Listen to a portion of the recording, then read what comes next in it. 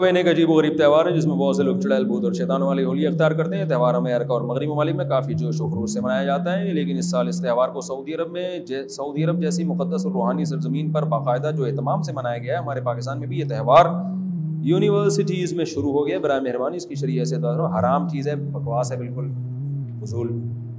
ये वो लोग जिनका आखिरत पर ईमान नहीं होता, वो इन चीज़ों में पड़े हुए होते हैं। हमारे नबी ने हमें बता दिया, तुम्हारे लिए दो त्यौहार है, ईद अजी और ईद फितर। ये चुड़ैल भूत बनना, ये शैतानी क़वतों को। इसके पीछे ये होता है कि हम शैतान के बंदे हैं। दुनिया में एक ऐसी लॉबी है जो इस पर काम कर रही है और वो उल्टे उल्टे काम करवा रहे होते हैं। यहाँ तक मैंने सुना कि अपने माँ बाप का कत्ल तक करवा देते हैं। यानी कहते हैं, बिल्कुल इंसानियत के अगेंस्ट चलो।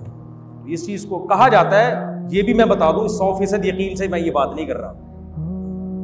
क्योंकि जब गहराई में जाते हो तो मैंने बताया कुछ ही निकलता है। तो ये भी आप कोई पत्थर पे लकीर ना समझे, मैं तबसरा कर रहा हूँ। हो सकता है वैसे ही शैतान भूत बनने का एक शौक हो लोगों को इंटरटेनमेंट के लिए। इसके पीछे कोई बड़ी लॉबी ना हो। ये भी मुमकिन है। लेकिन ये भी मुमकिन है कोई लॉबी काम कर रही, लेकिन हमें लॉबी करे ना करे कुछ जीन चुड़ैल भूत बनना कोई अच्छा काम है। इसलिए हम इसकी नफी कर रहे हैं कि ये छोड़ दो गलत है, अपने बच्चों को बचाओ, बोले इंसान का बच्चा बनो। भाई देखो, मैं आपको एक बात बताऊँ, जब आपका अपना कोई विजन नहीं होता तो आप दूसरे के विजन का हिस्सा बनते हो। जब आपका अपना ही कोई लाइफ स्टाइल नहीं है आपको यही नहीं पता मैंने सुबह कब उठना है, फिर उठने के बाद मैंने करना क्या है, नाश्ते में पराठा खाना है कि डबल रोटी खानी है।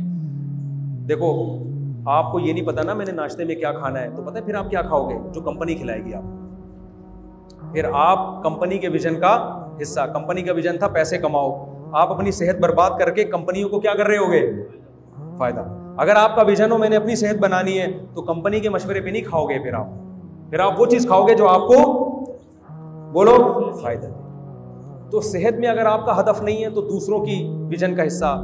लाइफ कैसे गुजारनी है, आपका हदफ क्या होना चाहिए, क्यों पैदा हुए, ये आपके सामने नहीं होगा तो आप दूसरों के हदफ का हिस्सा बनोगे। तो ये सारे वो लोग हैं जो दूसरों के विजन का हिस्सा बन रहे होते हैं।